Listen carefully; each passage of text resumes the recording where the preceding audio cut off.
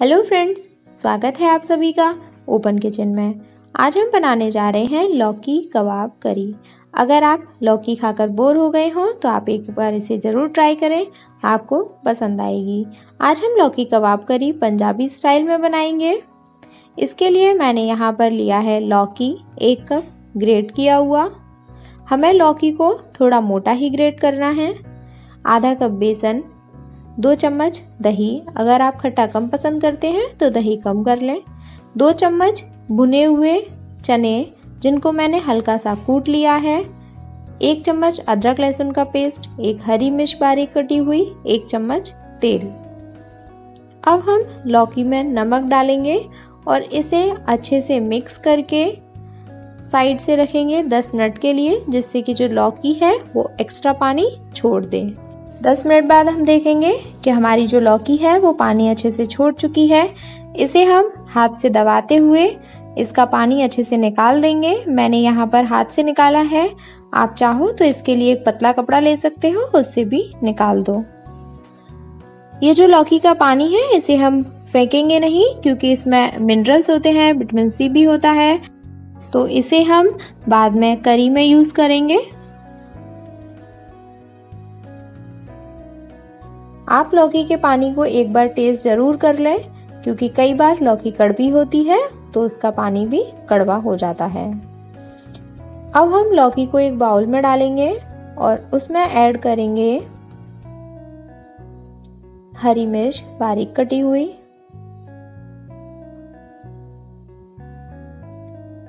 अदरक लहसुन का पेस्ट भुने हुए चने।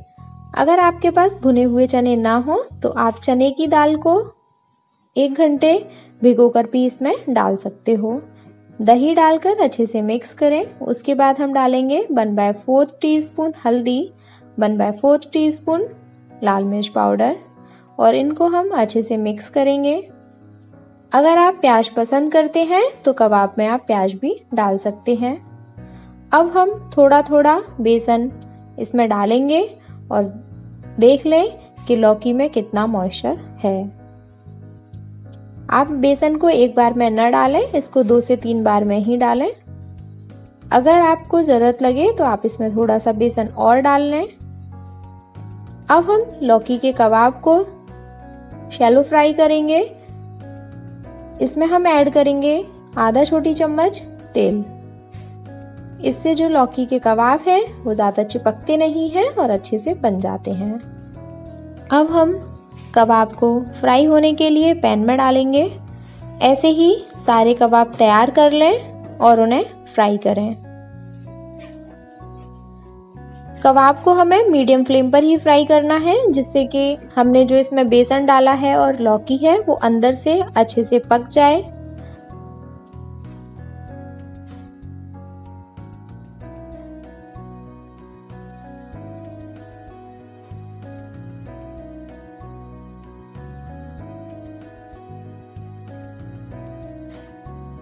कबाब को हम दोनों साइड से पलट पलट कर अच्छे से फ्राई करेंगे।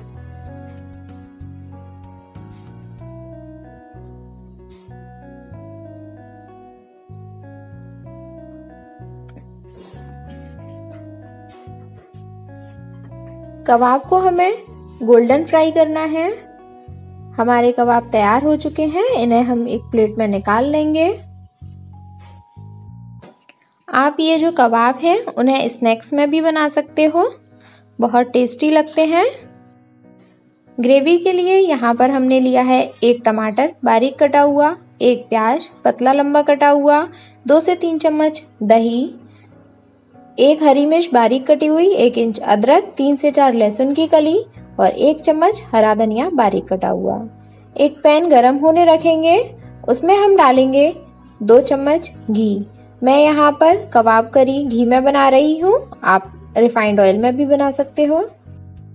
घी गरम हो चुका है। इसमें हम डालेंगे आधा छोटी चम्मच जीरा, अदरक, हरी मिर्च और बारीक कटा हुआ लहसुन।